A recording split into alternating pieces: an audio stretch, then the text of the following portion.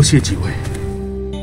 我也不是故意隐瞒身份，原本是想着这种事也没什么好多说的。唉，师门不幸。那接下来你怎么打算？大概会去一趟阳平吧。师傅他虽然，但总不能就把他一个人丢在那里。我得去看看。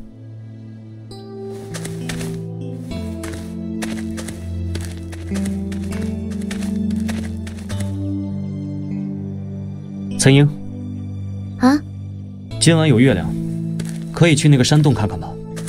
现在？嗯，现在就去，说不定能找到些意想不到的东西。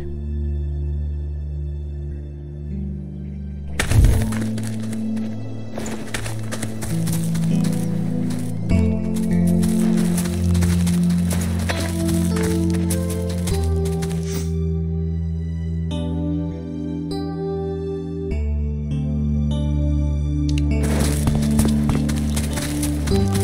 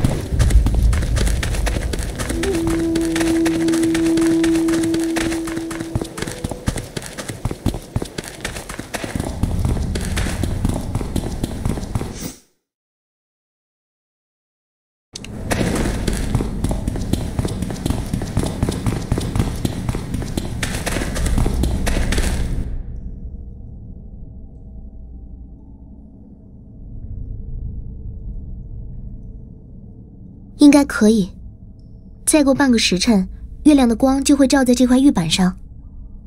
在这儿等着吧。好了。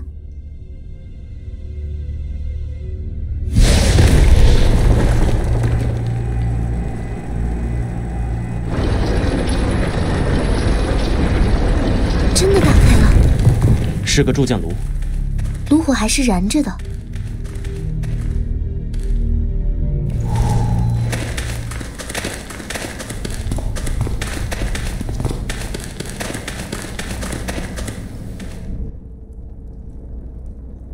最好别碰。我听说有些铁匠喜欢在淬火用的池子里加进野兽的尿。虽然不是没有别的东西可以用，但有人会特别迷信这个。嗯，那加这些有什么用呢？让做出来的器具变得更坚硬。据说在锻打或是加热时也会这么干。早些年很多工匠都喜欢搜集野兽的毛发、指甲和脚之类的玩意儿。那石门外的那个坑里，多半是用在这上面了。但我觉得，这个人想要的还不止这些。死了那么多，北洛，你又是怎么知道这些的？家师喜剑，也让弟子不要整天只知道练剑，有机会的话，多学学其他的。他很推崇营造法式和天工开物这类书。这样很好啊，学会里的长辈也经常这么说。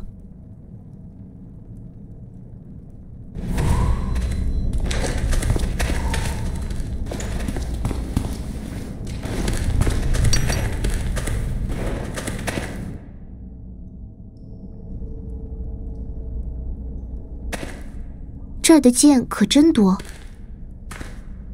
都是最终没有铸成的。铸剑的人，大概是在尝试些什么？是想打出一把特别好的剑吧？不但好，而且多半是一把特殊的剑。如果只是想得到一柄利刃，这里废掉的，未免太多了点。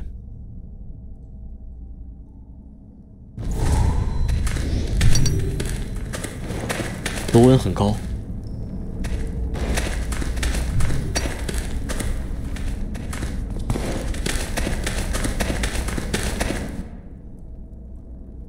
看上去全是古代的东西，很多都破损了。这个人铸剑归铸剑，这么多器皿也不好好保存一下，大概觉得没什么用吧？怎么没用？这可都是很宝贵的东西。那我之前猜的也没错。这里十有八九是古代遗迹，后来被人发现了，清理出来用于铸剑。可这儿这么高，很多事情都不太方便，像是运东西、取水、排水。选这里，难道只是因为隐蔽吗？可能也因为昆仑玉。昆仑玉所在之地，灵力便会比其他地方聚集的多。何况洞口有那么大一块，这个人也未必懂这些。但他在铸剑的时候，应当感觉得到。原来是这样，听起来很有道理。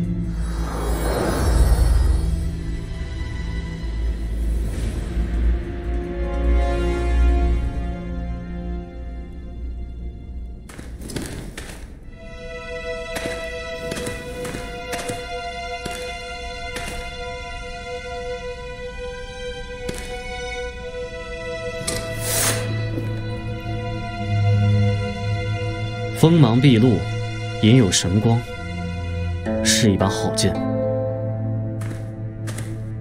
看来先前的模样只是障眼法罢了。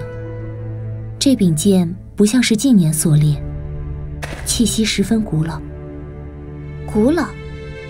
那它会不会原本就是这个遗迹里的东西呢？他为什么要袭击北洛？大概是因为察觉到了太岁。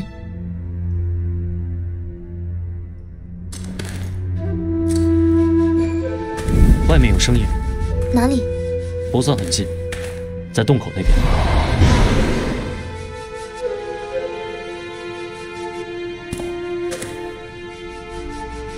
是肖赞。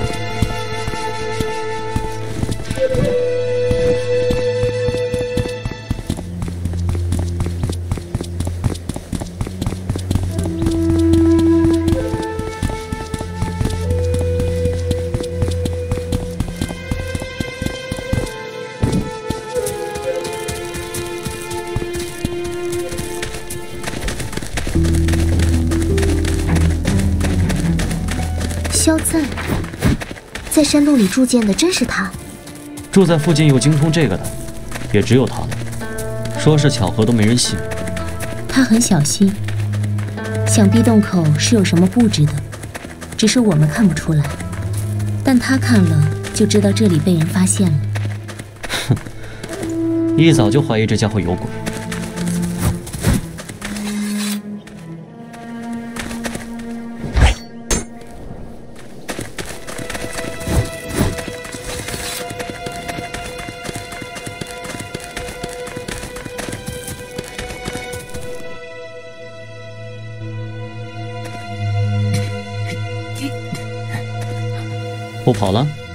追着我干什么？那要问你都干了些什么？山洞里的铸剑炉，你该很熟吧？你说离开渭水剑炉后就不再铸剑了，那么多废剑，难不成是从别的地方搬过去的？虽然我不清楚你们所说的剑谱上都有些什么，但你和你的师傅，应该是在做同样的事。你关心印铁山的生死，只是因为像你们这样的人并不多。那种铸剑的方法，这些年来一直没能成功，所以你很想看看自己的师傅是否有了别的际遇。在德同，你经常打猎，猎杀到的野兽多半为了炉子，而野兽只不过是无奈之下的选择。对你们来说，最好的当然还是人，可随便杀个人就没那么容易瞒过去了，所以你用来埋骨头的坑里，人骨非常少。那里面还有人骨，看着很新，反正不是什么老祖宗的骨头。但这些都只是你猜的，一些骨头又能证明什么？谁杀死的他们？铸剑的法子？你说的这些，我都不清楚。你，但至少很可疑。我们要把你送去官府。凭什么？你们先让官府愿意花时间听这些奇闻异事吧？还是说？你们就认定这些事跟我有关，打算私底下杀了我？杀人？不。既然这样，你们拦着我做什么？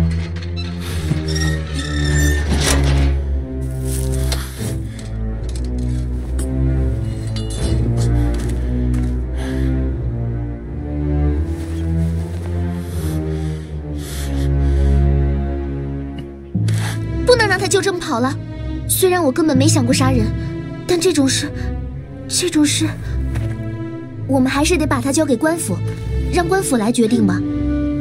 这么晚了，他又往林子深处跑，我们不能再追下去。